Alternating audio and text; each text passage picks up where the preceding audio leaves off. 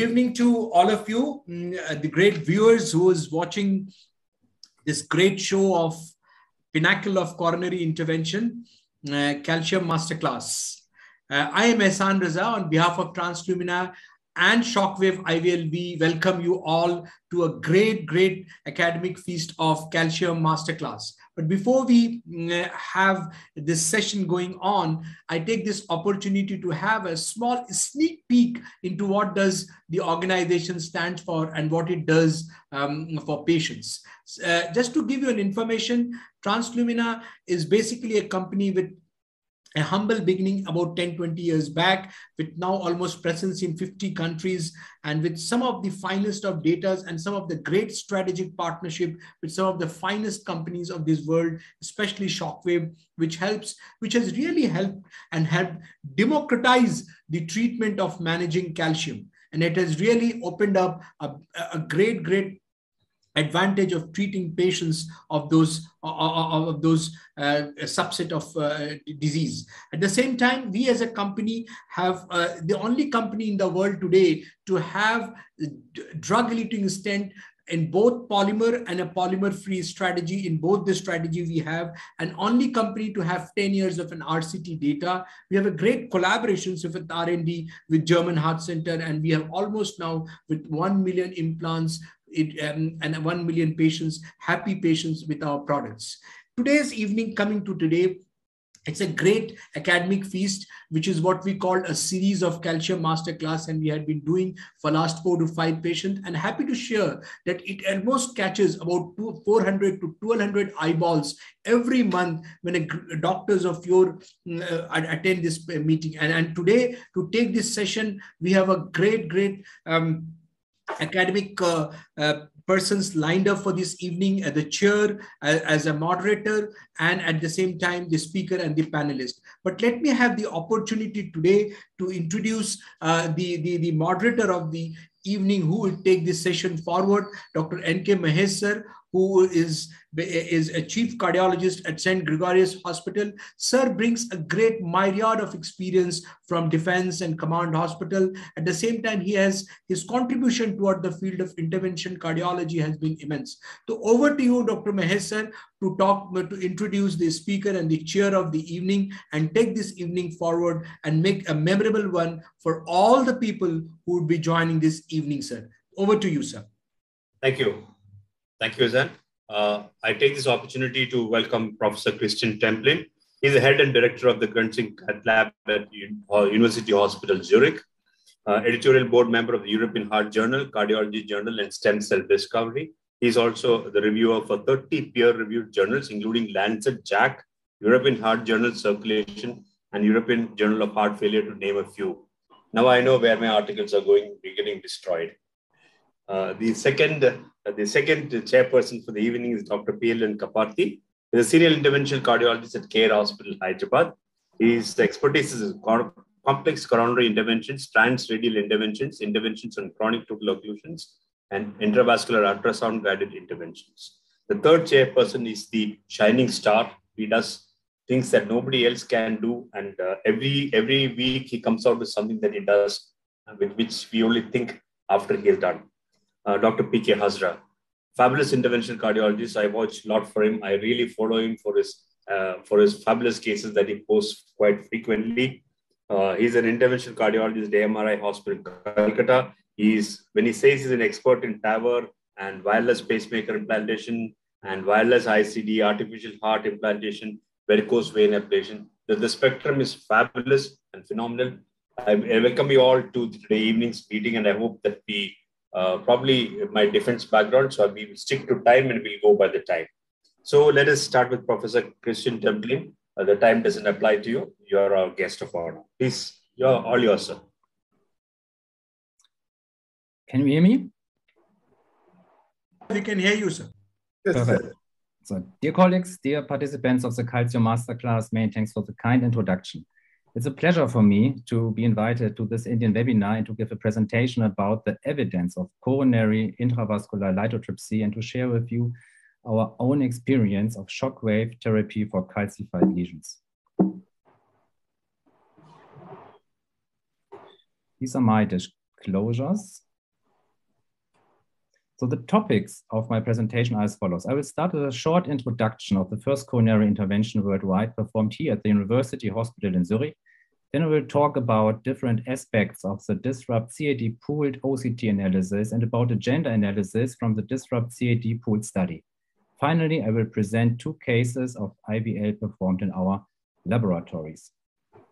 Andreas Grüntzig was born in 1939 in Dresden, Germany. He studied medicine in Heidelberg and later on he moved to Zurich and started his research on peripheral interventions and later on also on coronary interventions. On this slide, you can see the first balloon catheters which he and his assistant, Maria Schlumpf, have been produced on the kitchen table in his flat. On the right-hand side, the US patent of the balloon catheter is shown. And after first successful experiments in dogs and pigs, he was searching for a good candidate for the first angioplasty in humans. And this was the first coronary intervention performed on September 16, 1977. And then uh, when the balloon went up, the patient didn't feel anything. So the procedure was actually pretty simple once started. After it was done, uh, really sensed that Andreas was very much relieved because he knew himself that this was going to be a real breakthrough. And if it had failed, that would have set him back for a long, long time. Andreas Grüntzig had hoped that through his development of balloon angioplasty, 15% of patients would not need bypass surgery. He was completely wrong because nowadays the ratio is exactly the other way around.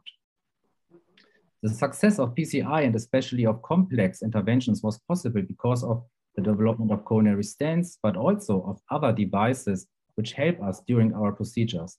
And one of the latest development was for sure the IVL, shockwave therapy. Now I would like to draw your attention to the Disrupt CAD pooled OCT analysis. OCT analysis comprises 262 patients pooled from the CAD1 to the CAD4 study OCT Core Lab was the Cardiovascular Research Foundation in New York, and target lesions were severely calcified de novo lesions. Baseline and lesion characteristics are shown here. The age of the patient was 72, 77% were male. There was a typical cardiovascular risk profile. Lesion length was 25 millimeters and the calcified length 32 millimeters, 42 millimeters.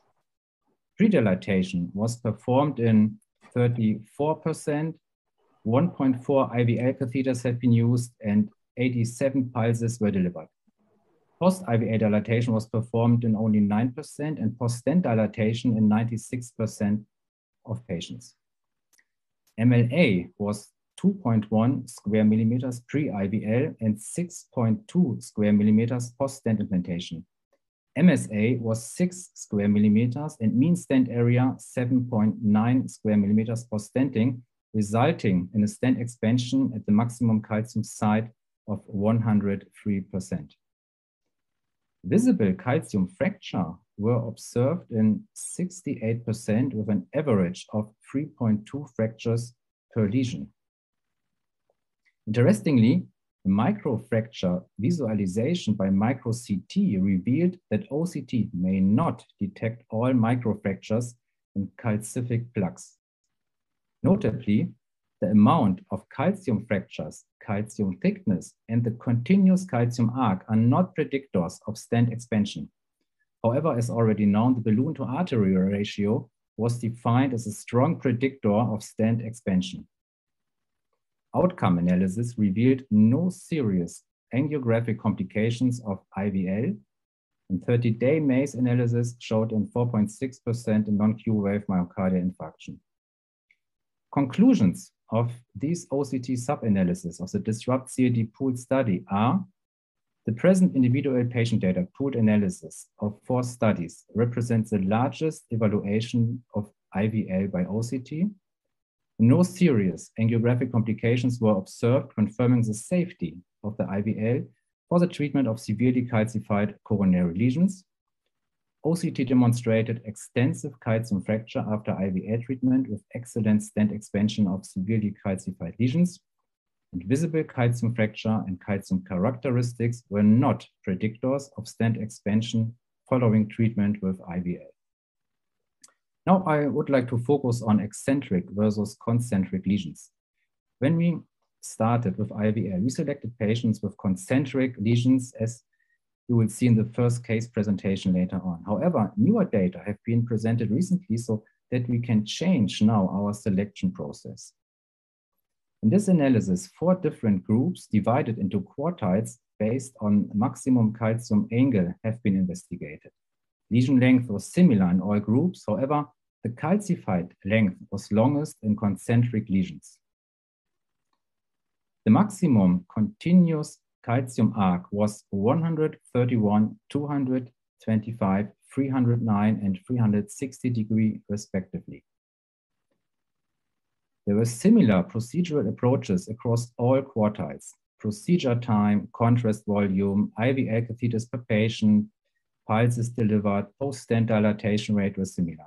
Only there was a trend towards higher pre-dilatation rates in patients with concentric lesions.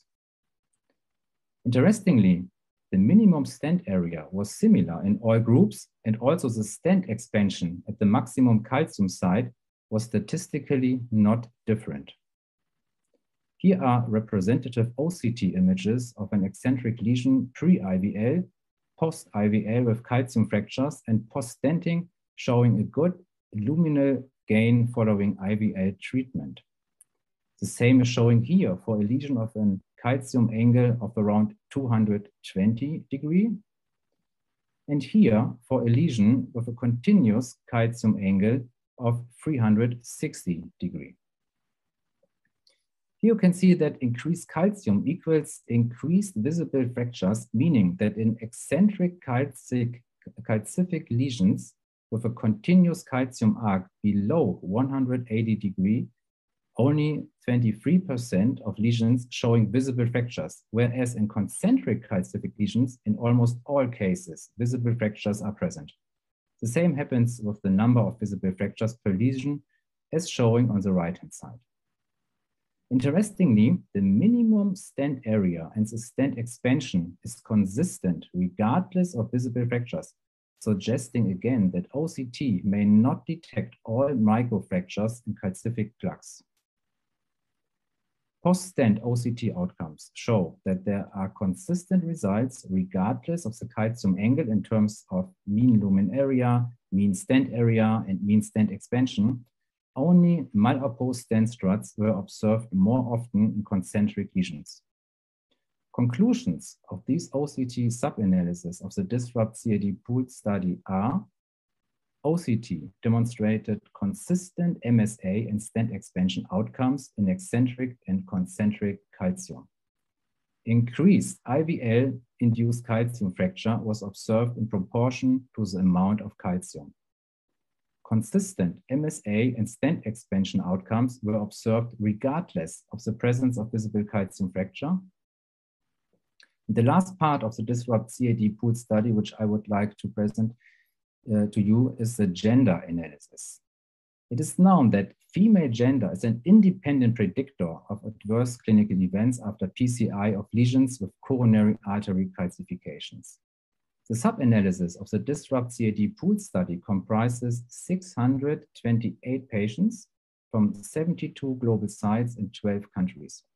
The objective was to compare outcomes between women and men following treatment of de novo calcified lesions with shockwave IVL. And the primary endpoint was 30-day MACE and primary effectiveness endpoint was procedural success defined as successful stent delivery with residual stenosis below 30% without in-hospital MACE.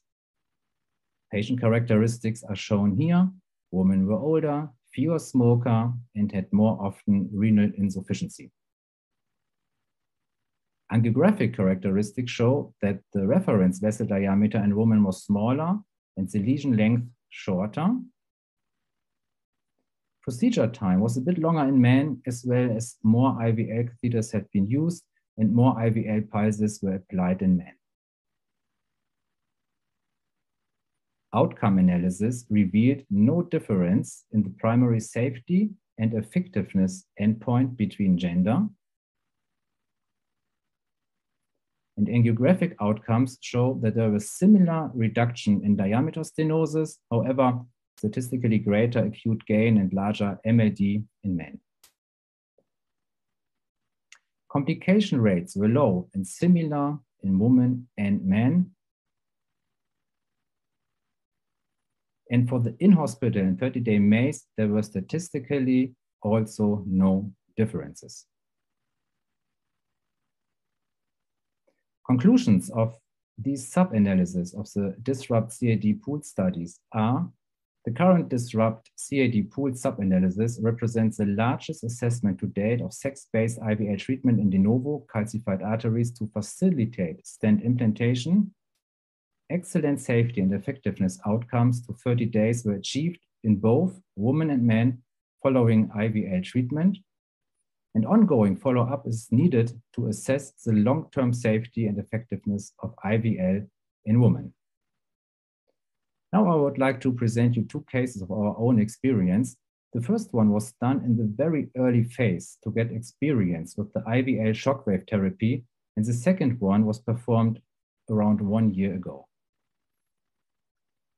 The first patient is a 50 year old man with new onset of angina and shortness of breath. He had some risk factors, arterial hypertension, diabetes, dyslipidemia. He was a past smoker and a little bit of overweight. Here you can see the initial angiography of the left coronary system. There was a significant lesion of the proximal LAD, and what is more important, there were a lot of visible calcium around the lesion.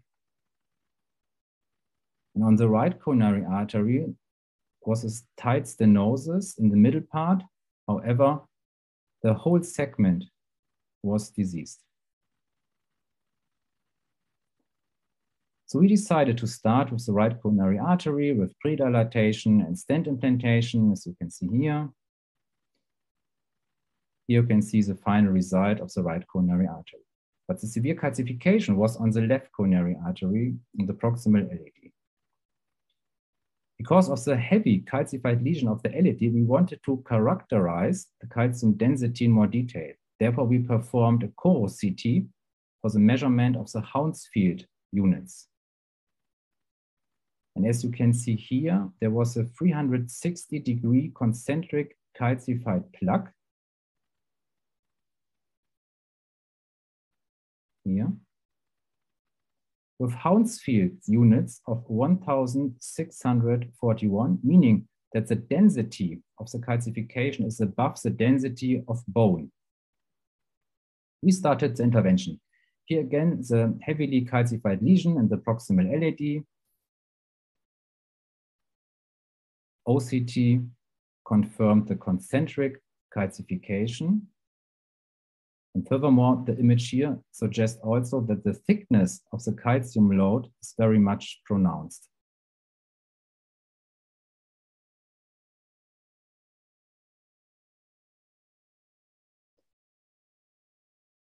IVL therapy with 80 pulses was performed using a 3.5 times 12 millimeter shockwave balloon.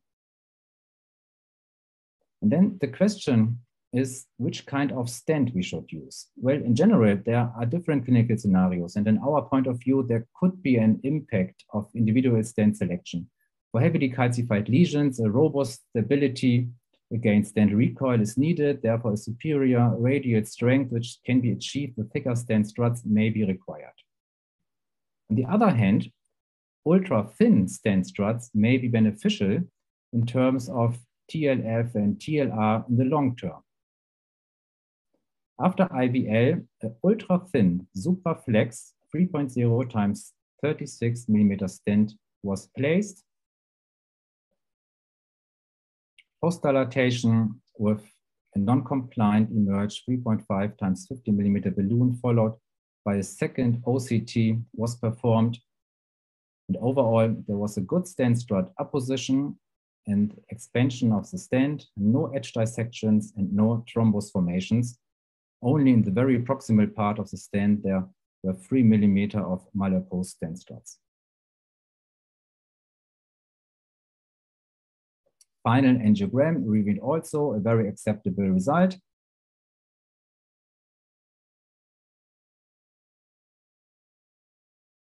And the conclusion of the first case is use cardiac coronary imaging for procedure planning and PCI guiding. IVL offers a new, simple, safe, and highly effective methods, method to prepare heavily calcified coronary lesions. And ultra-thin struts DES can be used in all lesions. Optimal lesion preparation is key to success. Second case presentation.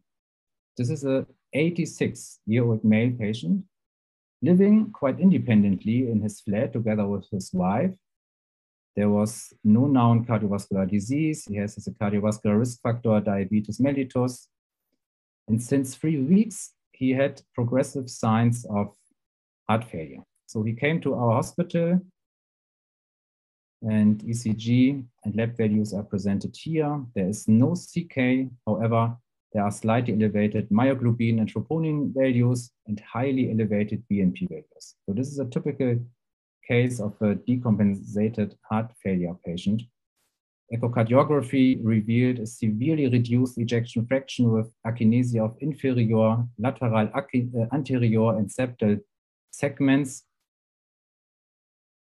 The coronary angiogram showed a chronic occluded RCX and diagonal branch Furthermore, there was a heavily calcified lesion in the proximal LAD.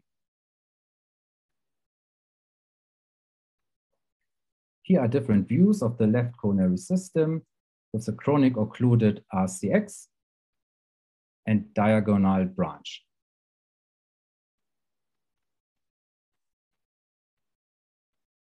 The right coronary artery showed multiple significant lesions from proximal to distal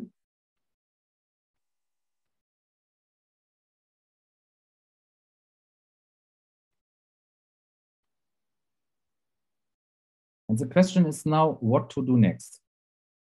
Optimal, optical, optimal medical therapy, PCI, CABG, or additional tests. I guess we are sure that there is a prognostic relevant coronary artery disease.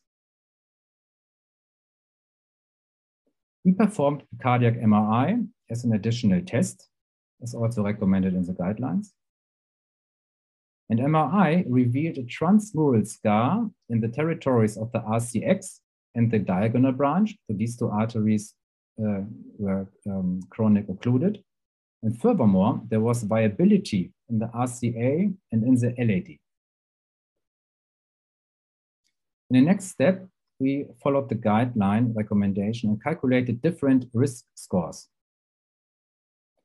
The STS score was 8 the Euro score 214 and the syntax score 46. The syntax score 2 revealed a four-year mortality for PCI of 99% and 62% for CABG. In the guidelines, there were factors described which may help us in decision making. In this regard, the advanced age of the patient would, of course, favor the PCI approach, whereas other factors as diabetes, severely reduced LVEF, the high syntax score, and the severely calcified coronary artery lesions favors more the CABG approach. So the question comes again, should we leave the patient on optimal medical therapy or should we perform PCI or CABG? The recommendation of the guidelines were 1A for CABG and 3A for PCI. However, we have to keep in mind that a lot of patients do not fit into guidelines because there are only studies available for patients of age 55 to 65 with normal ejection fraction. There are absolutely no studies for patients on age above 80 with severely reduced ejection fraction below 20%. So we talked to the patient and his family and decided us after hard team discussion for an Impella assisted high-risk PCI, which was performed in a single axis technique. For the heavily calcified lesion of the proximal LAD, we performed IVL shockwave therapy under Impella support. Green, so it's ready to go. and implanted a Megatron stent with a very acceptable result.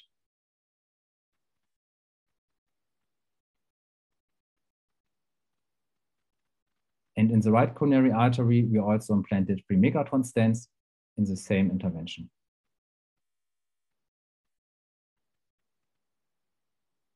The Impella could be removed immediately after PCI, and the patient was discharged home at day five after PCI.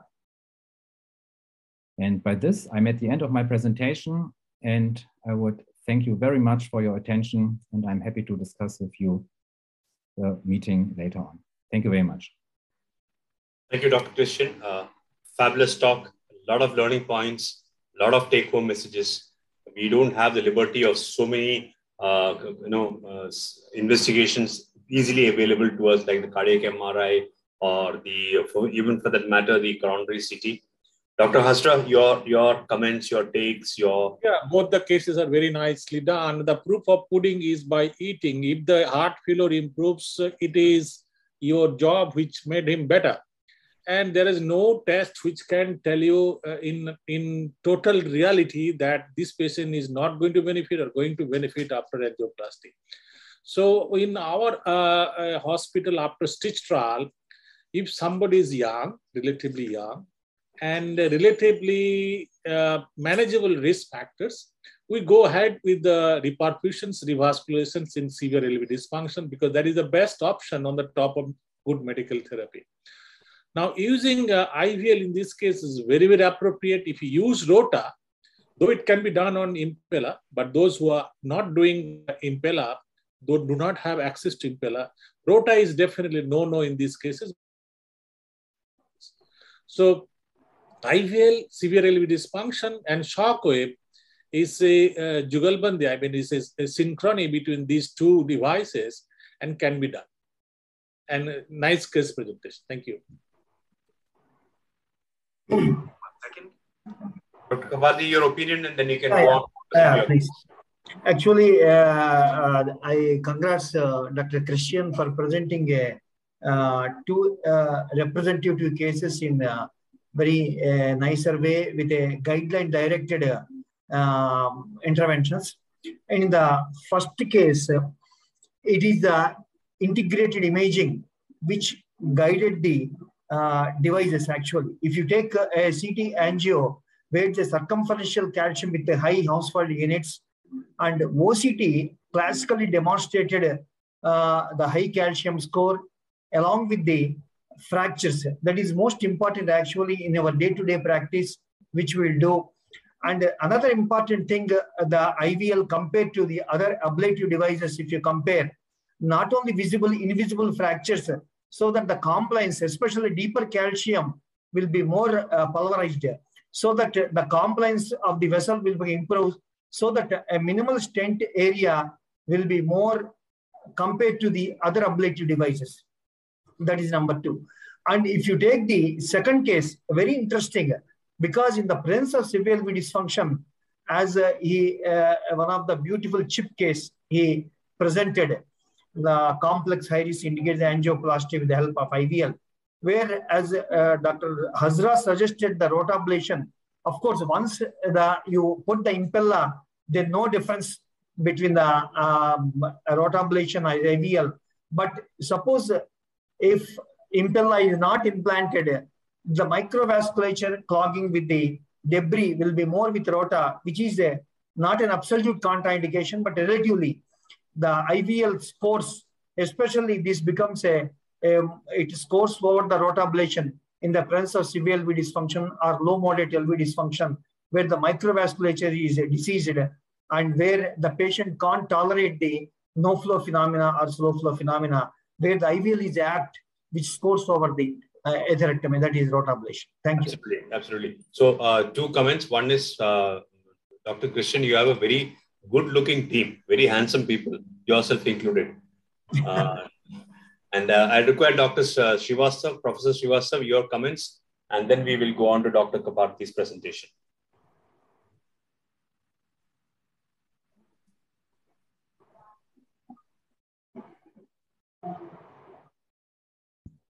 Thank you, sir. And uh, cases were, as everyone has discussed, were very representative. They were what uh, we see most of our cases here also. And uh, IVL definitely has made us uh, a new mode where these calcium challenges can be easily dealt. And day and day out, it has become very popular. Now we are using it almost uh, for every time we see a calcium. You know, Rota has its uh, benefits, but it comes with a number of limitations. There is a long learning curve. And with uh, IVL, this learning curve probably is, is uh, you know, you know uh, very small, it's very less. That is all I have to say. Dr. Pardi, you can state your Pardi, you can start your presentation, please. So, am I visible and audible? Yes. Ah, okay. So, uh, this is one of the uh, representative case which I give with IVL. So, as we know, uh, the head-to-head comparison with IVL and rotablator, IVL scores in two important situations. One is a technical difficulty where the bend with calcium, which are the enemies to the intervention cardiologist. So the rotablator has a, a relatively a, a potentially more problems compared to the IVL. That is number one. And second was uh, one of the another compelling indication. I'll tell that uh, the previously Dr. Christian presented that is a severe dysfunction uh, with a, a, heavy calcium where you have to select the atherectomy device. I will select IVL compared to the rota. So with this background, I will present a, a, a rocky terrain of RCA, how IVL uh, used uh, and overcome the difficulties. So this is a patient of 65, four years old gentleman having risk factors of diabetes and hypertension, presented with exertion angina class 2 with crescendo nature class 3, and uh, ECG is showing anterolateral ischemic changes, and his troponin is also positive, and a good LV function echo, and his baseline angiogram having a normal left coronary system, and uh, Shepard right coronary artery with the proximal and mid-segment calcific uh, tight lesion. So these are the uh, angiographic uh, presentation of this uh, right coronary artery, where you can the Shepard with a calcium in the two bends in the proximal bend as well as mid-segment bend. So first I have taken the uh, Amplatz uh, 7 French catheter, but constantly in spite of the uh, uh the uh, fenestration that is hold, uh, hold AL1, the still patient can't tolerate getting angina with the STT changes. So I have to shift for the support to the Judkins right with the guide extension support. So with that, it gives a reasonable support. So first I prepared the bed of proximal segment as well as mid segment uh, with 2 into 10 millimeters of balloon and which adequate uh, dilatation up to 12 atmospheres. After the preparing bed, then the proximal, this was uh, uh, pre-dilated proximal segment. Then after preparation of the bed, I have taken the IVL, that is uh, 3 into uh, 10 IVL and uh, I across the proximal segment delivered almost five cycles. I delivered the this energy ultrasonic energy. Then after lesion preparation, this is a continued the lesion preparation five cycles. So after that one, so this is the result after the IVL that is delivery of the uh, five cycles. Then we put the proximal uh, stent 3 to 18 stent uh, everolimus inducing stent we put that is a, a Xience and then expanded and then post dilated with a 3 to 10 NC balloon. Then this is the where I find difficulty where in spite of the uh, hectic maneuvers, almost you can take the guide extension catheter, almost it is an exaggerated Amplatz curve into the stent I have taken with the uh, um, these uh, guy, um, balloon assisted guide uh, uh, advancement and then the NC balloon which uh, advanced into the mid segment and prepared the mid segment lesion also calcific lesion and then here it is very difficult uh, uh, in spite of I want to deliver the stent for the mid-segment lesion, but lot of difficulties, even with the inchworm technique, uh, we are unable to advance the guide across the proximal stent. So I changed the strategy. So with the Ampla 7 French buddy wire I have taken because the guide failed. So with the buddy wire, I can able to deliver the balloon. And then ultimately the lesion was prepared adequately in the mid segment and the stent was delivered to the mid segment. That is uh, 3 into uh, 12 millimeters. And then uh, adequately post and dilatation was done and we got the final result.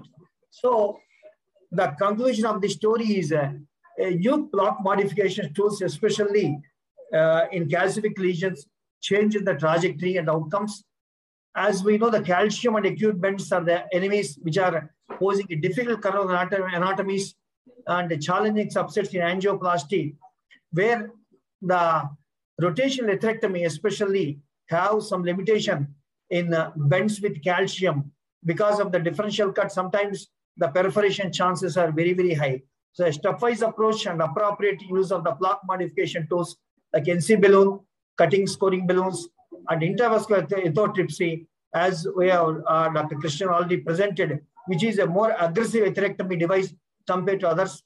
Uh, they are necessary for both acute and long-term outcomes. Of course, use of supportive catheters, guideline, guide extension catheters, and the buddy wire, which you can uh, interchangeably you can use to overcome the difficulties. If one strategy fails, you have to follow the second strategy. They play a key role in successful outcomes. Thank you. Thank you, Dr. Pardi. a lot of learning from your case. Uh, uh, there is a new guide guide extension which has come out called Guide Pro. I have used it and I found it extremely useful, and it's uh, it, it's able to maneuver through other things which are uh, which are otherwise impossible to. Dr. Hazra, your opinion first, then Dr. Christian.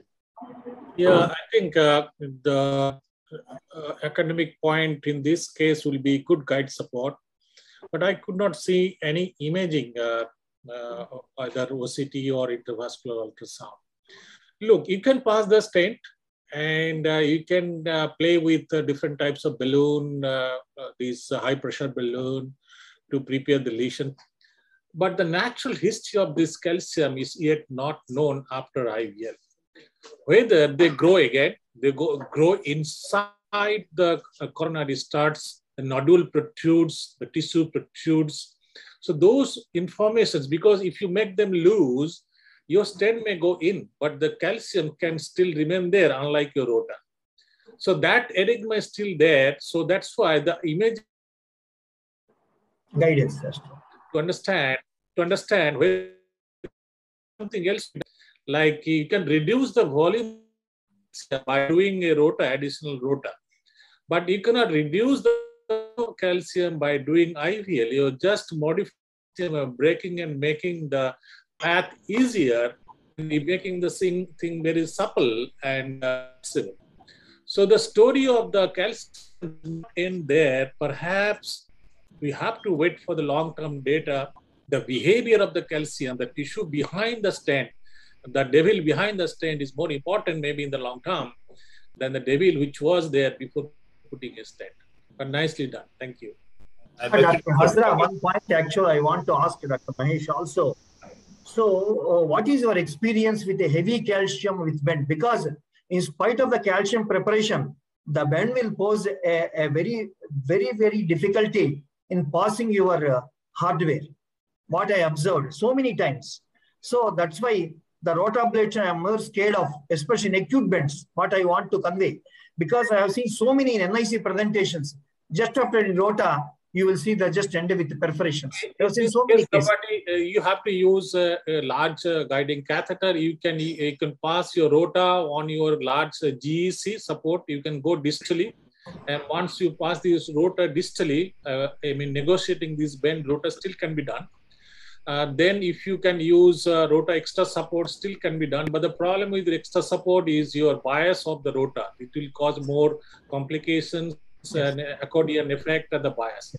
So uh, guiding support uh, is good uh, tip. Second will be the guide extension, as Dr. Manesh Mahesh was mentioning. The newer guide extension is more lumin, I mean, luminous, and the metrics are different.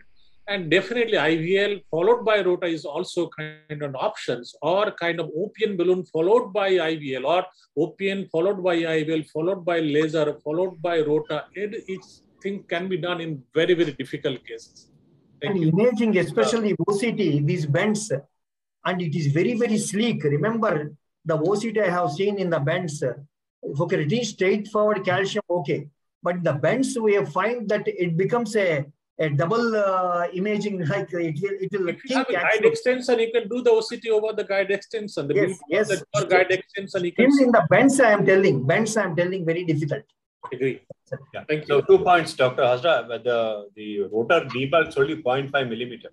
If you have a 1.1 millimeter, you know, uh, hardly any debulking is done by rota in the same. And uh, laser and uh, calcium, I'm not sure how effective that is. Dr. Christian, your experience and your opinion on the case, please. First of all, thank you very much for sharing with us this very nice uh, case. Um, maybe um, I missed this, but the, the exercise uh, for this intervention, was this a radial or femoral approach? This it is femoral approach. Femoral approach, okay, perfect. Yes. Uh, this is, uh, you know, I know that the modern way to, to treat uh, lesions is a radial approach, but I'm always uh, telling to my colleagues when I would be on the table, please never use my radial. I'm um, more um, yeah, convinced about the femoral approach, uh, especially in these complex uh, uh, lesions. And um, the other thing, I guess you mentioned this, the anchor technique for the for the guidezilla. Or yes. this um, often helps uh, to inflate a small balloon in the distal part of the artery, and then you can you can more easily advance uh, the guiding uh, or the guidezilla um, extension catheter. Uh, but this is uh, especially when we have this anatomy and with uh, calcifications and a stent already in place, uh, very, very difficult and not always working. Uh, and then, of course, I guess this is a typical case where you have deal with different approaches, a combination of small balloons, try again, try to um, have a better support, um, strong wires and all but for the uh, master class participants, I guess an excellent case. Thank you very much. Dr. Mohamed Jawan, uh, Mahesh, Dr. Mohamed Jawan is there from Bangladesh. Yeah, yeah. I, I thought I got him from Dr. Mohan Mandi's case onwards. I just want to know about your, uh, Dr. Christian, your opinion on laser and uh, calcium. Example laser. Example laser. laser. Yeah. I have no experience with, with laser. Okay. I'm sorry. Okay. Uh, so I, we will go to the next speaker, which is Dr. Mani. Dr. Mohan is a consultant interventional cardiologist from Kovai Medical Center and Hospital. His left his uh, expertise is left main interventions, primary PCIs, bifurcation, TAVI, and chronic total occlusion interventions. Dr. Mohan, you may start sharing your slide, and after this, we'll have the discussions continuing. Uh, thanks, everyone. It's a great forum uh, to present here, actually. And uh, can you able to see my slide? Sir. Yes, sir. Yeah, okay. Thank you. And so this is a history of the patient, which is 71 year old active male, but had a uh, in December 2021 infero posterior wall MI for which not lysed, no primary PCI done, which is outside, and uh, uh, he had a critical ostial LMCA with the calcific triple cell disease and severe LV dysfunction and recurrent pulmonary edema. He got out, uh, admitted outside, uh, then came back here for further management associated with is having a COPD, diabetes, and as well as a bilateral peripheral vascular disease and recurrent TAA symptoms. And he had a last episode, which was six months before, and recent COVID positive status. And along with that, he has been treated three weeks before. So his SYNTAX score for this uh, case is 36, and uh, he has been opted for CHIP PCI. And this is a, a, a the the LAD lesion, which has been a calcified one and uh, there is a LCX lesion at the mid portion of the LCX. And uh, so it has been uh, proceeded with uh, uh, the LCX PCI first, which was quite easy to do it, the pre-dilatation, and subsequently the stenting has been done. And uh, so this is a post-NC dilatation. And then this case was proceeded with the IVUS because of the LV dysfunction. And uh, so this is a pre uh, uh, the MLA area of 5.03, which has been the post proximal minimal stent area is around 7.36. And uh, there's uh, the the mid LCX uh, MLA with the 2.22. That's a lesion area where it has been become 5.39 mm square. There's a the the IVUS of the the the pre PCI LCX and as well as the post PCI LCX, which is on the other side and where you can able to appreciate there is a good amount of uh, dilatation and uh, the, the stent position which has been very good um, um, in the longitudinal um, view. And now so come back to the, the main one, uh, which has been here, as I already told you, there is a, been a classified uh, as a, a, a, calcific lesion in the LAD, where there is a more visible calcium which has been seen at the proximal portion of the uh, LAD. So what I have done is the pre-dilatation which has been done with 2 into 15 balloon, which is a balloon crossable lesion. Once the balloon is crossable, uh, then we have to put a calcium score by doing the uh, either IVUS or OCT and decide about the further strategic management. So this is the OCT which has been done for this uh, case because to assess the calcium thickness and other stuff. And you can able to see that there is a calcium mark which is around 270 degree with the length which has been more than 11.2 millimeter and thickness is more than 1 millimeter. So calcium score here is a OCT, it says around 5. And uh, when you look at the IVUS calcium, it is around 276 calcium. So, and circumference calcium also there, which is more of the calcium which is being presented at the uh, ostioproximal LAD to the proximal LAD. The mid portion of the LAD is majority which has been covered by the predominantly fibrolipid plaque. So this is the algorithm which I have been followed it. And uh, so IVUS score of around uh, 6 and uh, OCT score of around 5. So lithotripsy has been a one option. When there is a lithotripsy balloon which has been non-crossable, then we have to think about rotational atherectomy or orbital atherectomy. So this is the OCT criteria. Uh, it's been a similar uh, uh, the algorithm.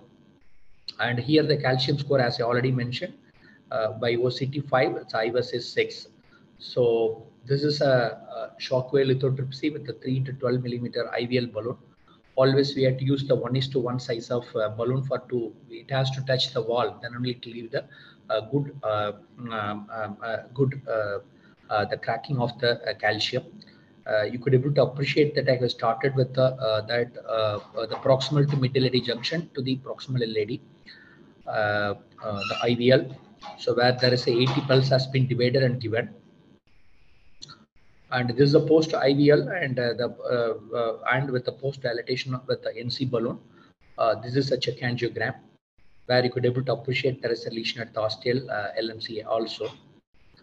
And so this is a LAD, the post IVL, where you could able to appreciate that more amount of cracks uh, everywhere just from the mid LAD, mid LAD junction to the proximal LAD. And uh, Subsequently, I have stented the uh, that uh, proximal to middle LAD, then the left main to uh, LAD. Then the work was bit easy for me. And uh, this is a post dilatation with the NC balloon. And the pot has been done to the uh, uh, LMCA. And this is a, a LAD, the post LAD, where there is expansion criteria which has been fulfilled and where you could able to see that LCX ostium is free of uh, uh, the carina is free.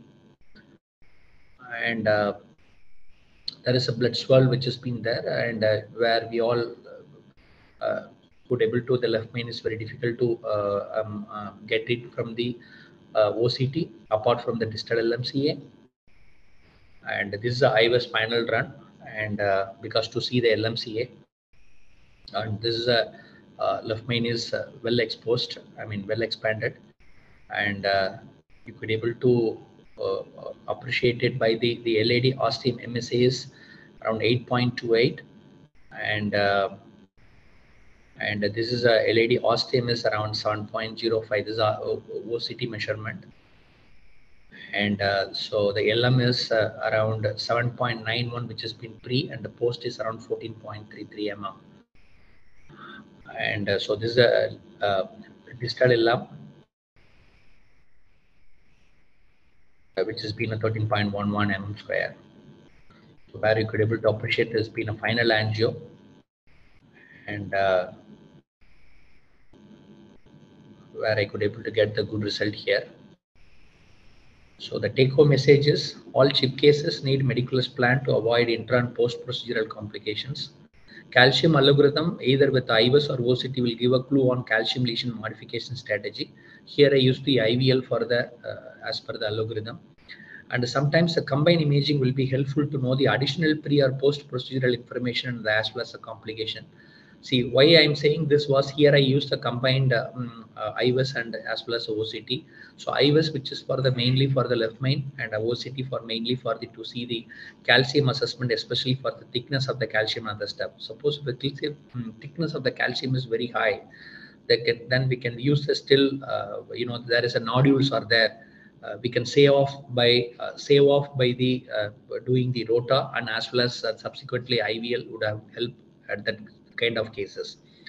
And the, again, the intravascular balloon crossable calcific lesion, it has an additional advantage as well as a very good safety in calcific lesion modification, especially in severe LV dysfunction patient.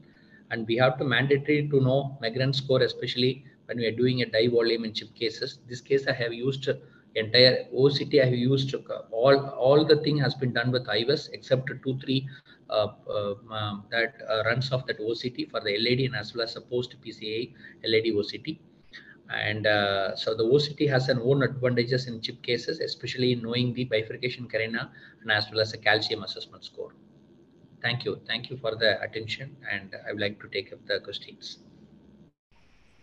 Excellent case, uh, Dr. Mohan. You've, uh, you illustrated all the points very well.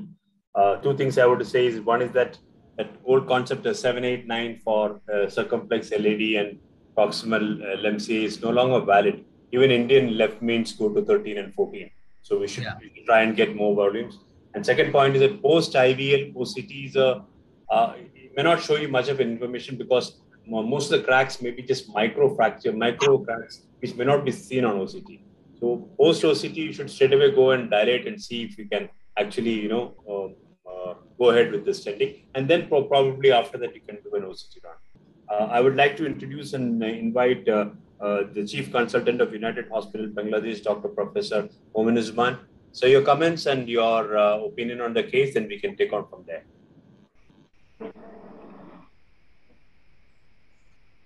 Yeah. You're muted, sir. We can't hear you.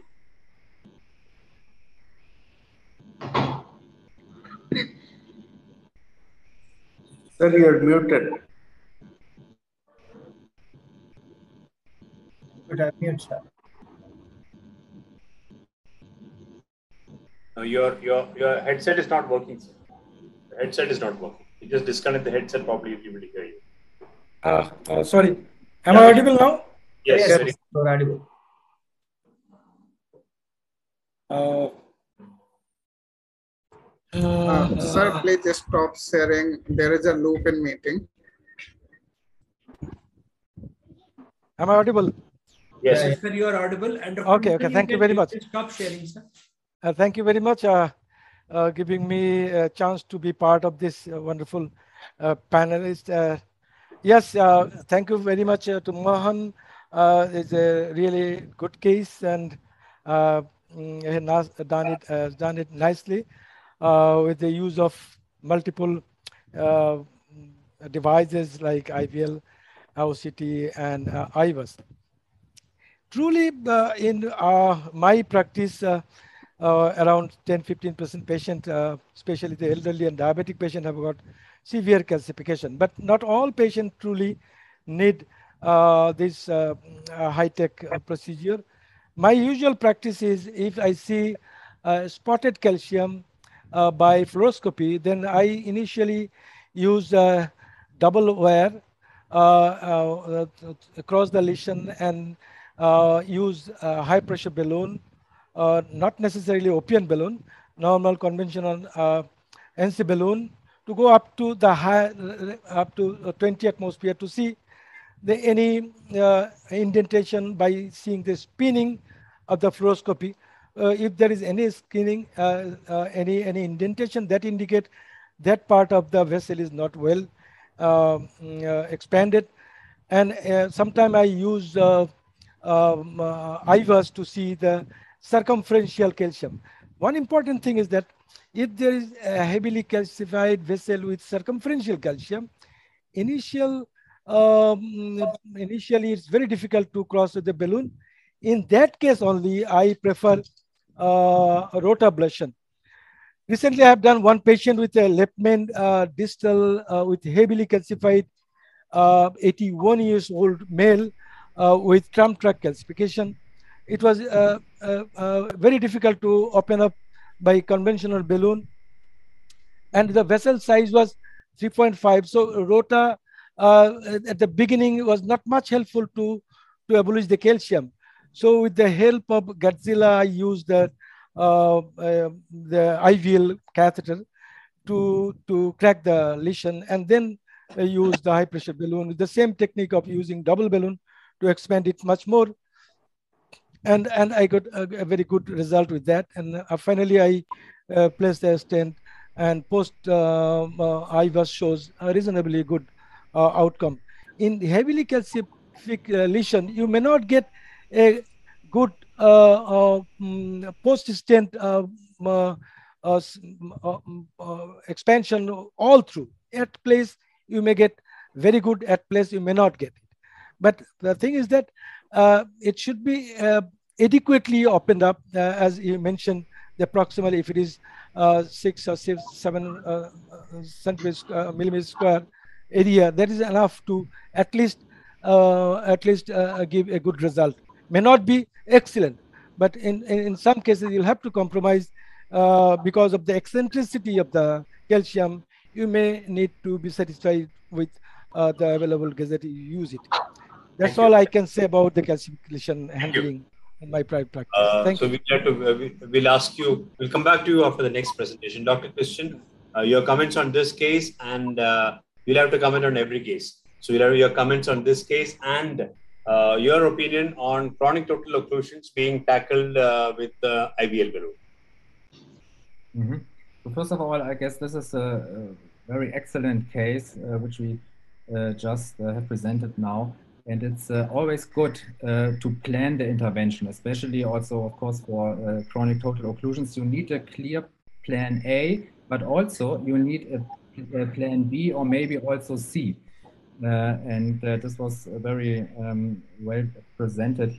And what I also like very much, um, um, he, he followed very nicely the algorithms uh, and also to follow guidelines. We have excellent guidelines, but, but as I uh, try to um, have presented you, we have guidelines and algorithms, but we make to be sure that our patient who is on the table fits exactly to these guidelines or algorithms. Otherwise, we have to um, find an individual approach. And uh, but in, in most cases, um, uh, guidelines and algorithms are excellent. And this was very nicely presented how he follows the, the uh, current um, uh, algorithms.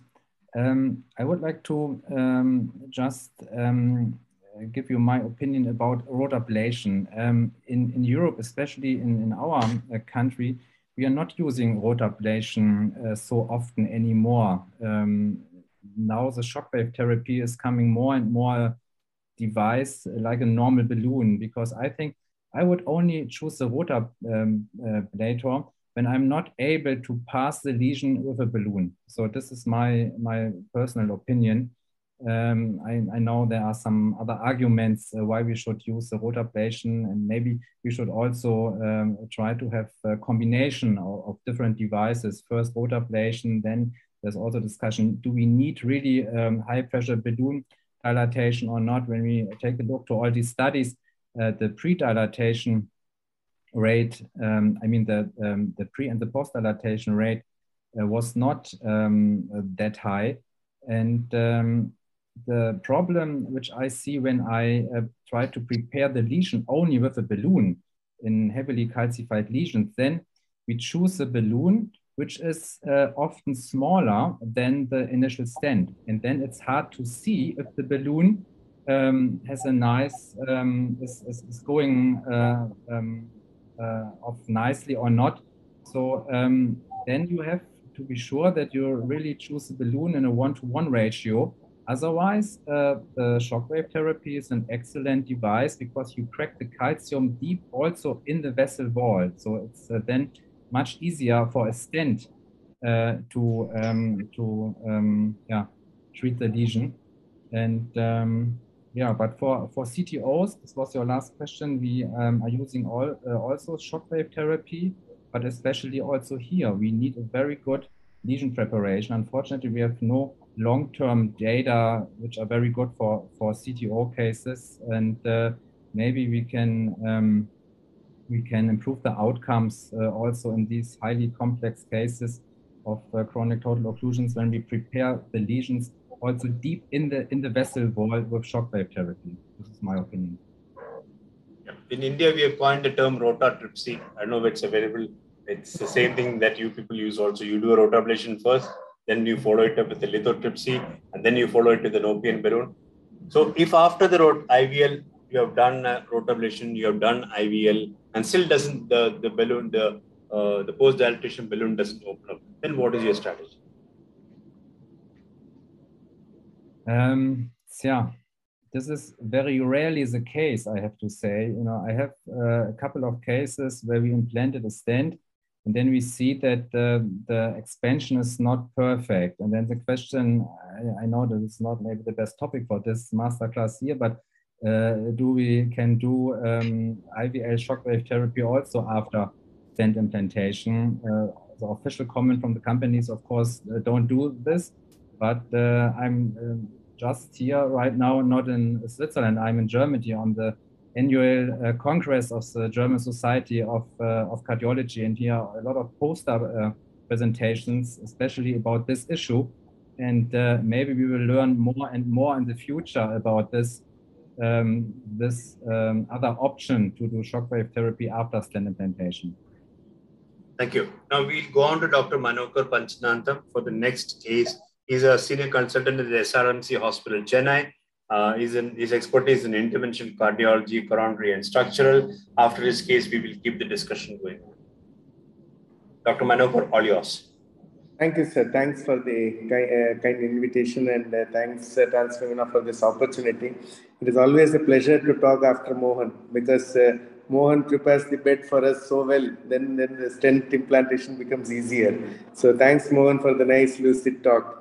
Uh, mine is a case actually, uh, in fact, I, I, am not sure which case these guys have picked up, but uh, uh I think this is a case of rotatripsy. Yes, okay. Since sir mentioned rotatripsy, I think they decided to go with this uh, thing. So this was precisely the thing. The main reason I present this case is because I have a lot of questions. So I thought I will ask this expert panel as well as the uh, you know international faculty. So the idea of presenting is to uh, improvise my you know understanding and uh, learn from the masters. So to go briefly through the history, it's a 76 year old male with history of chest pain for a month, known diabetic, hypertensive, hypothyroid, and regular treatment. Next. Uh, nothing spectacular in the examination. Next. the next good LV, no, but some ECG changes, uh, rest of things are good. So he had significant lesion in the uh, LAD, circumflex, and uh, RCA, and this guy was offered surgery, which he refused. So after a lot of counseling and cajoling uh, uh, from him towards me, I agreed to do a, a, PTCA to start off with. I thought, let me do it. So start with the RCA because RCA looked more uh, significant in the clinical in the evaluation. Next.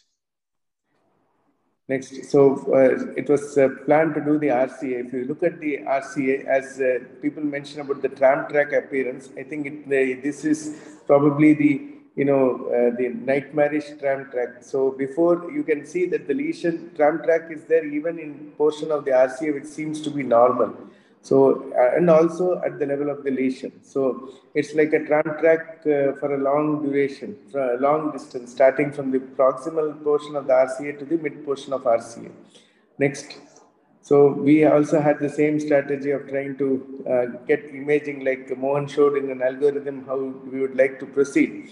but uh, uh, you know we tried to cross the lesion and then we thought we'll get in a imaging catheter but uh, obviously we couldn't get it across next. So uh, we thought let me uh, you know increase the support uh, try to give some kind of support by you know wiring the, the coronal artery that didn't help next. In fact, the guide was uh, uh, giving us good support, but uh, since we could not get anything across, so we decided, okay, we are going ahead with uh, because we were not able to get even a, uh, this thing. So we tried with the pre-dilatation, the 1.25 balloon with the two balloon following that. Now you have the guide sitting right across inside the RCA. Next. So we, uh, despite that, you can appreciate that not much headway has been made. Next slide. So we decided to go ahead with a rota uh, floppy wire. So based with Finecross, we changed over to rota floppy. Next. Next. So we went ahead and did a rotablation, uh, tried to uh, you know, uh, shave off the calcium to the extent that we could possibly do. And uh, uh, luckily, we were worried about whether the burr will cross. But if you see in the slide on the left, the burr simply uh, walked through. So I know it was little scary the way the burr moved uh, this thing, but uh, luckily we got out, got away without any issues. But the movement would, is not as I would have wished. So then once the rotablation was done, uh, next. Subsequently, we thought we let us uh, do adequate uh, post-dilatation and then get the imaging done next. So we tried to uh, get the IVUS next across and uh, if you see the IVUS, you can see in the proximal portion of the RCA, there is cal uh, this is from distal end uh, there is a lot of disease in that, but the vessel looks good in size. Now the calcium is coming in. There is an arc of calcium almost 360 degree in the initial portion, and then at least some lesions, some less calcium, but lesion being tight. Again, calcium, almost calcium everywhere. So you can see, you know, the here the important thing is uh, here the vessel looks good, but the calcium is uh, not deep seated, it's more of superficial. So you can really appreciate the calcium and see that here you have 360 degree calcium and the lumen is also very small. So I think uh, the, uh, the, this is what we would have expected in the from the angiogram also. So then we thought let us uh, get in a guideliner for more support next. So next. So now uh, we we try to get this since uh, now this is something which I want the uh, senior faculty to comment on. So that, that the IVUS that I showed you was post 1.5 uh, uh, you know rotablation. So my question that I would you know uh, like to know at the end of the meeting is how many of us, of you would have tried to upgrade to a 1.75 or maybe a 2 burr to deal with the calcium that uh, was shown after the rotablation. At that point of time, I did not have the two on shelf. I had the 1.75 on shelf, but I was a little skeptical. So I thought of playing it safe. So I tried to use IVL with a 3 into 12 millimeter balloon. Next. So 80 pulses were delivered across the lesion in the proximal RCA, in the distal RCA. Next. Next. So post IVL, if you see the IVL, IVS run, the things look little better than the previous.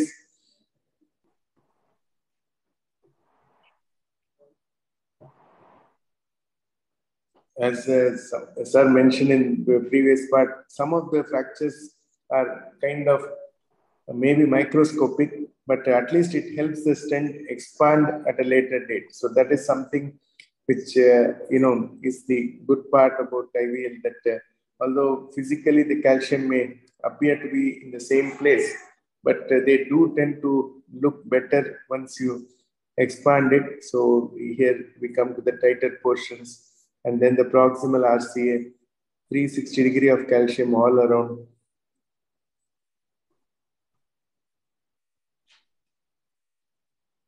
So definitely some of the areas, the improvement in, in a lumen area with IVL looks impressive, but uh, the whole vessel is calcified. So uh, to, to, to really make some gist of this calcium, we may have to kind of keep on delivering more and more. Here you can see the, uh, the you know calcium giving way and then back to the guide. Next. So after that, the lumen expansion looked better, at least on the L scale, if you see, it looks better than previously. Next. Then we went ahead and uh, did a serial dilatation with the non-compliant balloon. Next, I think we, for want of time, we'll just jump and go to the last slide. So we stented and you know, you know, you can skip and go to the last, last part. I think we put three stents, 3.5, 40, and you know, stented right across. Next. Ah, I think this is the final shot. Okay. Uh, so, uh, you know, I want the expert panel to let me know how, if I have to do this case again, what better strategy I could have done and uh, would have been a better alternative. Thank you very much. I hope you don't have to do this case again. oh, uh, I would have probably started off with the 1.5 burr. That is the only thing I can. You are used your guideline of extremely well, very effectively done, excellent imaging. Overall, uh, a case worthy of presentation. And uh, if you are wanted to go with a two, then you, your guide has to change. Uh, it's not easy to find an eight French guide that can uh, on your shelf. Then your guideliner becomes useless uh, so a lot of lot of plus points and minus points in using a bigger uh, thing. I would have probably done with a 1.5 and be happy, and then uh, rotatripsy would have been the way through because you got very thick calcium. I don't think I would have done anything differently from what you have done, except for the size of the curve. Now let's have the opinion from Dr. Kapardhi first. Yeah. Uh, uh, thank you, Dr. Mahesh. first of all, I congrats to Dr. Manorkar for an excellent case done and presentation as Dr. Mahesh already pointed out, it is an undersized burr. That is the main uh, uh, important uh, here. Having had taken 1.5 burr, maybe your requirements of uh, uh, guide extension may not be there. That is number one. And second, the rotatripsy is the ideal because as an extension of the previous uh, discussion, nowadays the concept of Rotamax concept not only you have to debulk the calcium, you have to reduce the volume of the calcium by rota, that is number one. And then followed by increase the depth, uh, increase the compliance of the vessel by fracturing and pulverizing the deeper calcium of the vessel wall. These two are the important concept so that the microfracture may not be visible by OCT, but the ultimate resultant of increased minimal luminal area after uh, plaque modification rotablation and increased minimal stent area after stent deployment. These are uh, indirect re reflectants of the adequate uh, ablation and decrease of the volume of calcium and uh, improve the compliance of the vessel wall after fracturing the deeper calcium. So this is the Rotamax concept where you excellently demonstrated. But as Dr. Mahesh told, it is just if you take 1.5, it may be you may uh, reduce the number of steps. That's the only thing. And only another important is uh, for uh, calcium scoring, definitely OCT plays a major role and it scores over the IVUS because deeper calcium you won't see. So you can't uh, assess the score uh, accurately with IVUS compared to the OCT. That's the only comments. Thank you, sir. Look, uh, uh, um, uh, Man Man Manokar. Yes, sir. Understand The balloon first. What is IVL balloon? you have a distal tip, then there is two millimeter blind spot, and that two millimeter balloon generates only four atmosphere.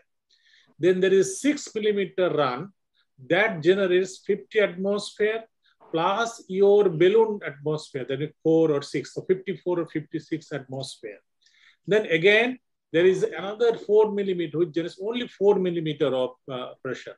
So both edges are having four millimeter, but six millimeter is the area where you're generating 54 uh, atmospheric pressure, and that to a small area. Whereas a rota generates a lot of pressure because the surface area is very small. So for superficial calcium, Rota is excellent. For deeper calcium, you know this IVL, which can break the medial calcifications in your case. And always on uh, fluoroscopy, the third artery looks bigger than actual the luminant diameter. So do not uh, go for a higher stent size, I would say like 3.5 millimeter. Go for 3 millimeter. All these modern stent can be made up to 4 millimeter square. So go for a smaller stent because there is smaller strut thickness. It varies from the joint to joint. The different states have a different strut thickness. The width is different. But if you go for a smaller stent, the delivery with those stent is better, and you have less metal, and you can always expand to your expected uh, your diameter. Now, if you have this kind of imaging, that gives not only for your on-table outcome, patient-related outcome, the DAPT issue is very important. The DAPT can be reduced to one month if you have a HBR cases. Now, as Dr. Mahesh was mentioning CTO, there is a new indication of CTO, not for CTO calcium as such. If you have a diagonal, 2.5 millimeter diagonal, if you put the IVL balloon in the diagonal and if you place exactly six millimeter at the CTO uh, ostium, that CTO ostium calcium is broken. Now, Jonathan Hill has presented uh, these cases in, in, in, uh, in CTO 2022, and he suggested, though it is costly, that even in CTO, this is one indications for CTO interventions. But very nicely done. But I would say use all your gadgets, but every patient is different. But your case tells us many, many, uh, uh, has many dimensions to discuss for one hour, two hours. Thank you. Thank you, sir. The IVL, uh, IVL probably softened the CTO proximal plaque. Professor Srivastav, you have been silent for too long. you know, when Dr. Hazra is there, you know, there is nothing left for me to add. But uh, uh, there was a question of laser, and we happened to do around eight to ten cases of laser. Uh, so laser is a good, uh, you know, uh, mode here. Only uh, thing one should understand is whenever we are using laser, we need some organic material between the calcium because that that how it you know causes a vaporization and causes a blast and that uh, uh, degrades the calcium so if it's circumferential calcium heavy load of calcium heavy jacket of calcium laser would not be a proper choice where there probably rota would be the best and second uh, IVL would be the best as uh, Dr. Hazra was explaining uh, so that is one place if you have a moderate jacket of calcium, laser does very well. And it also works, I probably I feel that it works better than and safer than uh, rotablator. I keep rota in the third place. First place would be either IVL or a laser if uh, I have to take up a moderate calcium. Yes. Uh, Dr. Christian, uh, your comments, please, before we go to the next presenter. Yes, um, I just have one comment. We had excellent comments uh, before to this uh, very perfect case. But um, the comment which I would like to uh, make is I like the idea of uh, choosing a smaller stent. But for this, we have to know exactly from all stents which we have on the on the shelf um, how how um, how these stents are um, are developed. Sometimes we have companies with uh, only two stand platforms. Sometimes we have three, and there are also companies who have four stand platforms. Uh, this means that uh, the 3.5 stand can be the same stand as the 3.0 stand. It's the same platform. But then there are companies uh, where um, the 3.5 stand is completely a different um, stent uh, than the 3.0 stand. So we this is uh, what I'm telling also our fellows. Uh, they need to know exactly the dilatation uh, potential or um, um, there are different names from, from each company. Sometimes it is not, it's not written on the, on the boxes of the stents and this is a real problem. So we have tables uh, on our uh, wall in the cath lab to know exactly which stent have um, uh, what kind of expansion potential. This is very important when we um, have the idea to choose a smaller or um, uh, yeah, smaller stent. Stick the chart on the cath lab wall. So we'll go to Dr. Praveen and then we will have uh, Dr. Manohar. You are not going anywhere. Please be there. Yes. I'm yes. going to Dr. Praveen. Please uh, start. Praveen, if you're there, please start to share your screen and start the presentation. We have about 25 minutes uh, left, more than that. We've got about 45 minutes left, so there'll be a lot of discussion after Praveen's case. Thank you, sir. Uh, good evening. Actually, I'm embarrassed to present in such an audience. It was a very senior audience. Uh, thank you for allowing me, Dr. Mahesh, to present in front of such an elite audience. So I'll go ahead with my case. Uh, this is an 80 year old male who he's a diabetic hypertensive. He came with a recent onset effort angina. He came with a he's, uh, already done angio, which showed triple vessel disease and uh, vessels look very calcified. And there was some ostial involvement of circumflex and LAD, and the ramus was heavily calcified. Uh, since all vessels, he had a perfusion uh, scan done outside, which showed uh, viable territory everywhere, and ECG had shown no SCT changes acutely. So this we had taken up directly. We had chosen a femoral approach with the H French guide at the outset because we had expected uh, problems. So we had taken a uh, eight French guide at the outset and wired all three vessels and did a pre-dilatation of LAD. This is to enable the IVS. So initially we did a, uh, balloon pre-dilatation. Um, there was no much calcium in LAD. The least calcium was in LAD. So we pre-dilated that, uh, tried pre-dilating the LAD, then went ahead and uh, tried predilating the proximal part of ramus. Further, the balloon would not go beyond this, and the dilatation achieved was very low. Dilatation achieved was very low, and this was a. Uh, I was showing calcium. Maximum calcium was in uh, ramus, which showed an arc of calcium of more than 270 degree arc of calcium. Ramus also had heavy calcium. Ramus had calcium throughout, and the lumen was very narrow the IVUS was not passing beyond a certain point. There was an acute bend in the ramus where beyond which IVUS could not pass on. And this was the ramus pre-dilatation, which was done with an AccuForce balloon initially. So we tried with an AccuForce balloon, and this also did not produce much of a uh, dilatation as we wanted. And this was a pre-dilatation going on. This was the ramus, and there were two branches of ramus, and both we tried, and LCX ostium, which had heavy calcium, was also pre-dilated.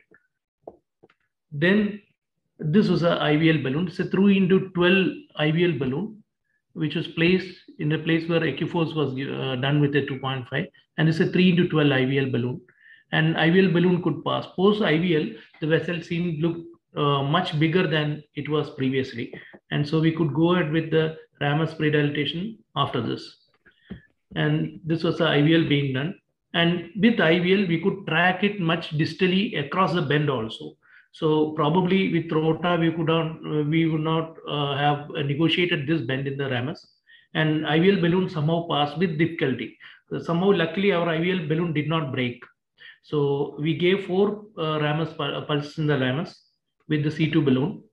And this was the IVL being done. And we use the rest of the pulses available to LAD and also ostial LCX, which had heavy calcium. So we finished the case. Uh, with this, the lithotripsy was over. But uh, then we did with the problem was there was a trifurcation. So we went ahead with the trifurcations. Uh, initially, we considered it as a bifurcation uh, and uh, did an LAD LCX bifurcation stenting.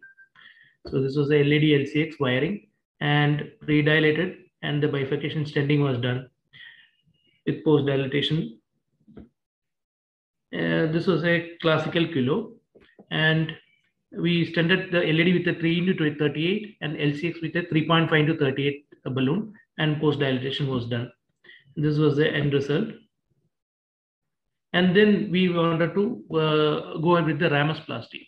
So ramisplasty, what was done was just a, a distance to the bifurcation. Uh, we wired the ramus just distal to the bifurcation. So ramus was wired. This was the LCX wire. The post dilatation SKS of uh, LAD LCX. And this was ramus was wired just beyond the bifurcation and passed the balloon and dilated that area. So this was a post pre-dilatation ramus LAD bifurcation and a stent could, could uh, negotiate through the ramus and then uh, wire the LAD through the lumen.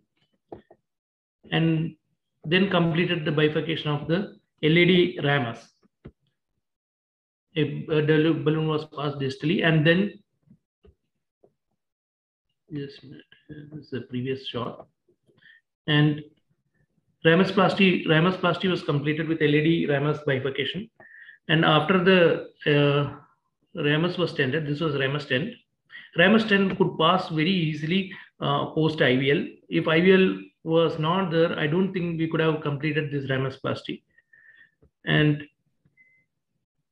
this was a LAD uh, ramus uh, bifurcation balloon dilatation. And this is the end result that we initially got. But then we had problems.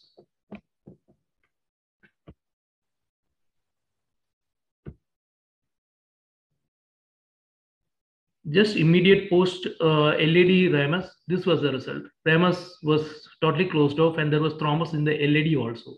So we did a thrombus aspiration from the LAD using a, eliminate catheter. And then uh, again pre-dilated the LAD ramus area. This is a post pre-dilatation result.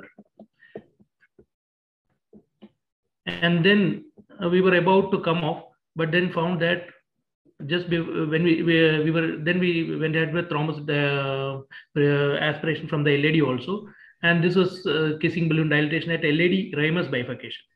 So after the LAD ramus bifurcation, what had happened was there was a thrombus in the LCX also once we finished the bifurcation, this was a post ending and LCX uh, calcium had partly gone, but then we found that at the last, there was a, there was a thrombus in the LCX ostium. So we again wired the LCM, uh, LCX after putting two balloons in the LAD and ramus. And then finally, we went ahead with the triple balloon simultaneous uh, post dilatation after thrombus aspiration from the circumflex. So this was a final result. So we got a final result like this after the uh, uh, three with three balloon dilatation. Thank you. Super case, Dr. Praveen. Uh, two things. One is the triple kissing is now nowadays called trissing. It's already been labeled. So everything has got a label these days. And uh, why did the thrombus come is the mystery which we need to solve. So I uh, request uh, Professor, where is he gone? The professor from uh, I think he's missing. Okay, let's go to, um, ah, yeah. Professor Mominuzzaman, please, your comments and your thing. I certainly missed you. this is a really challenging case, especially uh, putting a stent in a, a three vessel, and after that, uh, if there is any thrombus, really it's a nightmare. But very nicely tackled the uh, things. And uh, one thing I am uh, wondering why there is a uh, uh, thrombus. Could it be because of inadequate antiplatelet therapy or heparin? Whatever it is, there, there should be uh, some form of antiplatelet uh, uh, reason for this thrombus.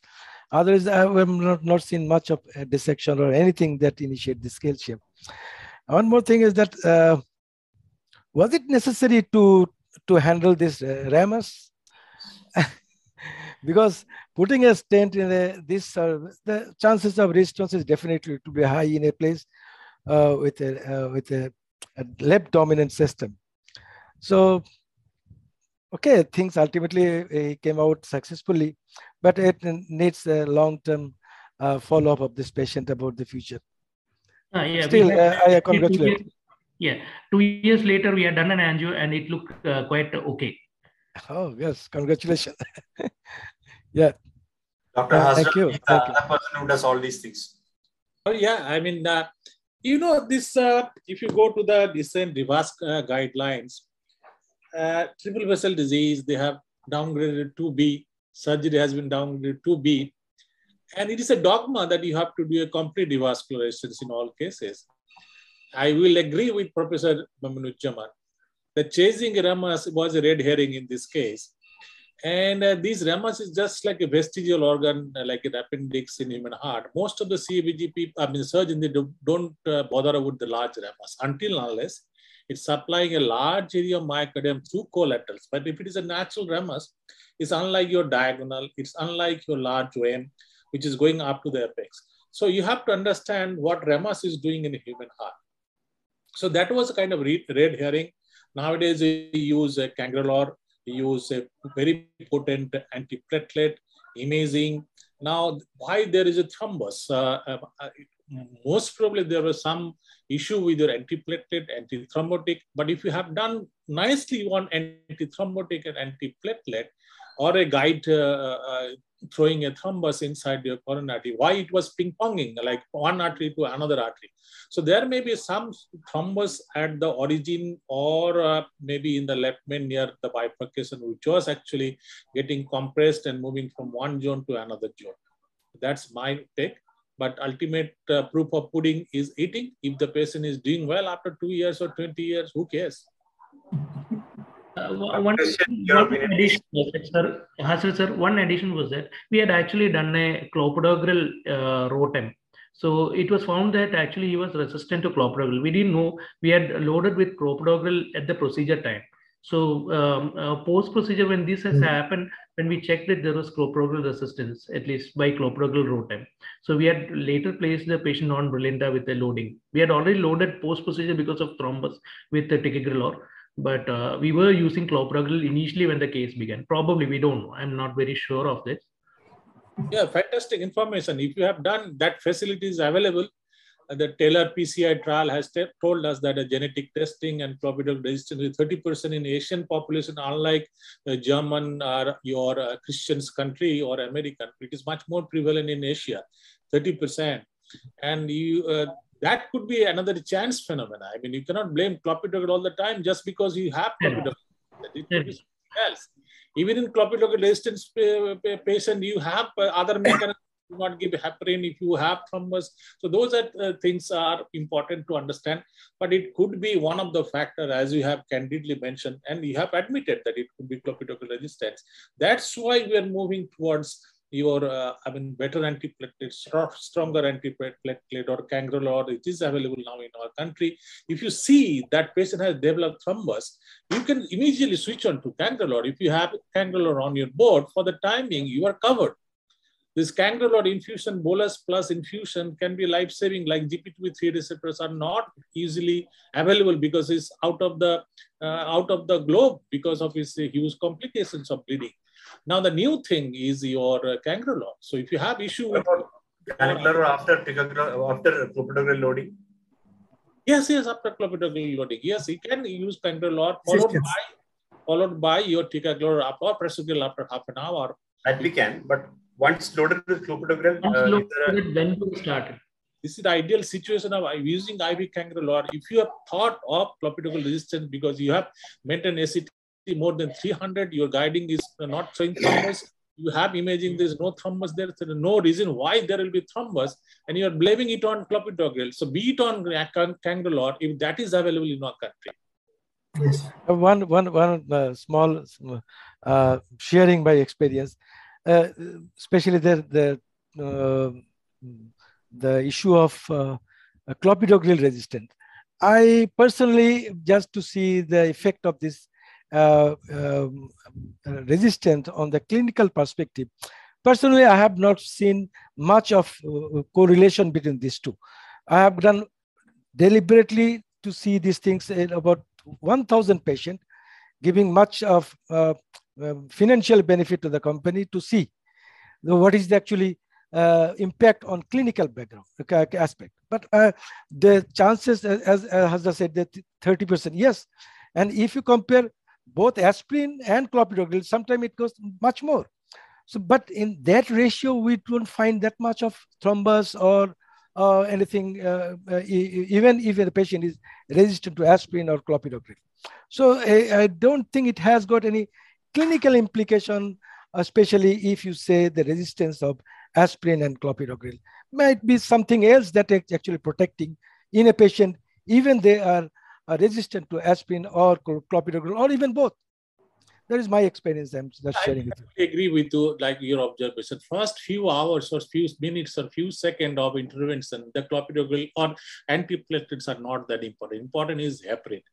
Once you take this wire out of the coronary, you're guiding out of the coronary, perhaps this is the time for your antiplatelet to have actions. Many times we, uh, we, we load these patients after doing an angioplasty, like primary angioplasty. So there is no benefit of pre-treatment of clopidogrel or pre-treatment of antiplatelet loadings. And you are absolutely right that it is, may not be that important. But you know, if that had not happened on the table, it, suppose it happened afterwards in the ICU or at home, this patient would have been dead. Yeah. So that is the biggest implication. So knowing the fact that it has happened on the table, so it's better to change an antiplatelet because this man would have gone home with on clopidogrel. And if he has a resistance, and would have developed stent thrombosis, would have been dead at home. So better it happened on the table, like bivalirudin stent thrombosis happens on the table rather than heparin stent thrombosis. So death rate in bivalirudin is much less than heparin induced stent thrombosis, just because of this fact. But these act can be corrected on the table. Yes, Dr. Hazra, commonest factors of stent thrombosis, uh, especially in this given case, one is a sister's defect that is whether heparin inadequate dose, sister saline sometimes we have seen, and second one is, uh, as you told, rather than technical factor, not maintaining the adequate acid because of prolonged procedure or inadequate dose of it. These are the commonest factors for this type of the events which he described. Even a reuse balloon. Yes. Dr. Christian, your comments, please. um, I like the idea um, of um, using imaging also to decide uh, how many pulses of uh, shock wave um, we should uh, apply uh, to specific lesions if we have uh, to do multi-vessel disease uh, shockwave therapy. This was quite interesting, very well presented. And then I have a question. Um, if um, you have done at the end a final pot, because this is, if you have a left main intervention, um, yeah. very important, especially when you um, did multi-vessel dilatations. Uh, this is yeah, I did I completed with the final pot. Okay, perfect. Thank you. And in this case, if I would have um, a stent thrombosis uh, in a patient on the table, I would uh, first, of course, check the ACT, and it should be more than 250, and then I would give uh, the GP2B3A we have Integrilin in our laboratories. So this um, I use uh, quite often also in, uh, in acute coronary syndromes. Um, you can give it as a bolus, and then later on, if you have a huge thrombus load, then as an uh, IV uh, infusion. Um, yeah, but very nice case, and congratulations. Uh, Dr. Rafai has just joined us. Rafai, your comments on IVL in general uh, good evening. Good evening. Sorry, I was a bit late. Yeah, just a couple of comments on stent thrombosis. I mean, this is something we always see in every meeting you go. There's definitely at least one case presentation of acute stent thrombosis. And I, I keep telling this uh, to that, that every 200, 250 cases you do, you will get acute stent thrombosis on the table. There are various factors in that. I mean, this is beyond our control starting from the who takes the heparin out, whether it's a one in one ratio of heparin or sometimes or most of the centers use 1 ml of 5000 heparin. So the errors are so dramatic in those kind of dilution of the heparin we use. So I tend to use uh, PD, well, what they call it is a pediatric heparin, which is one, one ml is, has got 1000 units, where the accuracy of the heparin infu- injections you give is much more clearer. But nevertheless, as somebody mentioned, most of the time the heparin is uh, being drawn by the nurses and is given to you as heparin but not necessarily. It can be sometimes a mixture of NTG or something saline. Or so we always see this case. I mean, the more UK, the more you do, the more uh, you do see this on and off every 250 cases or 300 cases you'll come across. I think the most important thing is we need to understand how to deal with it when it happens. I'm sure uh, all of us know how to deal with that. I'm coming to this point of bivalirudin, as somebody mentioned about the use of bivalirudin. I think I did a lot of extensive study comparing bivalirudin with uh, GPT2B3 inhibitors in the real world after the Horizons AMI trial came, which is one of the positive trials of bivalirudin. And I think actually, if you look at the data, it's not actually acute stent thrombus within the on the table the risk of stent thrombus in the first 24 hours is high in bivalirudin group. And if you look at it, it's not exactly within the first two, three hours. It's more probably within the first 24 hours compared to the glycoprotein 2B3 arm, which is the comparator arm. So what we tend to say is, well, if you have a stent thrombus, you might as well have in the hospital when you're in the hospital rather than that. But nevertheless, the bivalirudin got its uh, uh, like you know wrong end when we HEAT-PPCI came, and everybody thought that it's more expensive form of heparin than anything else. So I think that that's an important point to to be taken into account. Uh, in terms of IVL, I, well, I mean, every every modality has got its positive and negative point when it comes to IVL. I also had difficulties sometimes crossing the IVL. Well, sometimes some people don't call IVL as a balloon; it's a device on its own. So um, they say that you should actually call this IVL device and not an IVL balloon. And I do have some difficulties crossing the circumflex lesions, particularly when you use for the LAD and go to circumflex. So I had a bifurcation case where I had wires in both LAD and circ. I thought I'll finish the LAD with the IVL balloon and then move to circumflex the same balloon because both branches have a heavy chunk of calcium. What I found was if you use the IVL balloon in the LAD and then I use 40 pulses and I thought I'll use another 40 pulses in the circumflex, but I tried to track the balloon through the two wires crisscrossing on the circumflex, I damage the balloon. So one tip I always say is if you have a difficult lesion or difficult crossing, use the IVL balloon in that particular lesion and then come to the straightforward arteries. Uh, but yes, it's an amazing technology and it, that created given a lot of uh, comfort zone for the operators to do heavily calcified arteries compared to the other modalities like rotablation. Thank you. Dr. Rafai is a senior consultant interventional cardiologist from Apollo Main Hospital. Dr. Manokar, you have to give your comments. Uh, uh, that is true, sir. Uh, in fact, uh, what Dr. Rafai said is this dilution of heparin is something, and especially across hospitals, we always face problems. So every hospital has its own funny uh, way of procuring heparin brands and all those things.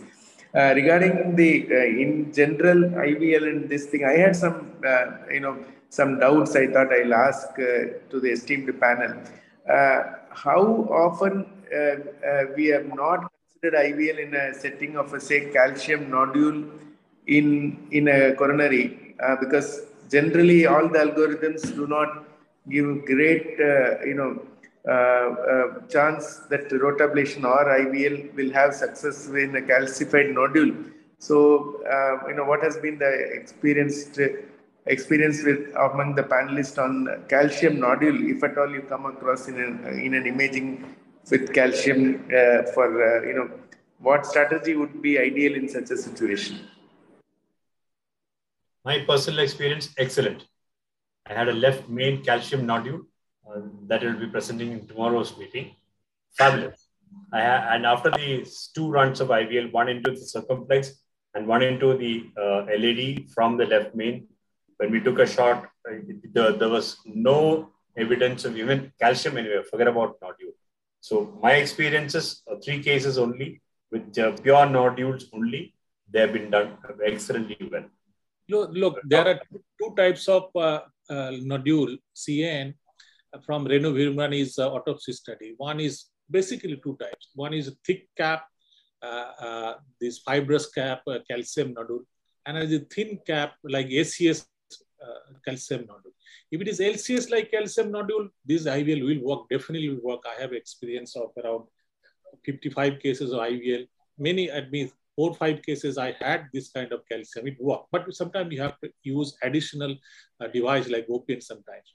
But if you have a very thick cap, which can imaging tell you that thick cap uh, calcium nodule, large nodule, in especially large artery like left main, then we do not have a 4.5 or 5 millimeter IVL then there is a lot of space, uh, gap between your the energy and the module itself. But if it is three millimeter fit with a three millimeter IVL, even in calcium nodule, it will work. Only point is you have to invest all your energy in the calcium nodule. You cannot use, uh, I mean, these 80 pulses, like two pulses for the nodule, two pulses for your wife, two pulses for your children. I mean, uh, two pulses for your mother. So you have to invest on the calcium nodule. So it is value for money and not value for money for calcium nodule. Sometimes you have used two, two, two IVL balloon for calcium nodule. So it works because it's a no hope case. What else will work? The laser will not work. The rota will not work. You have to use very uh, 2.2 or 2.5 rota burr for a large calcium nodule sitting on the left main and large LAD. So better to be on the IVL side rather on choosing very high uh, burr uh, high uh, device size of rotor. There has been a solution to that also. Use a 3 mm IVL balloon and use another 3 mm balloon parallel to that make sure that the IVL balloon is on the side of the nodule. And after expanding both the balloons to maybe five millimeter, you can go ahead and deliver the shocks. And uh, this time, the IVL shocks will get uh, definitely delivered onto the uh, onto the nodule, provided your IVL balloons on the nodular side. I heard a case presentation. I think that's by Dr. Colombo, somebody on this topic. Dr. Christian, your views on this?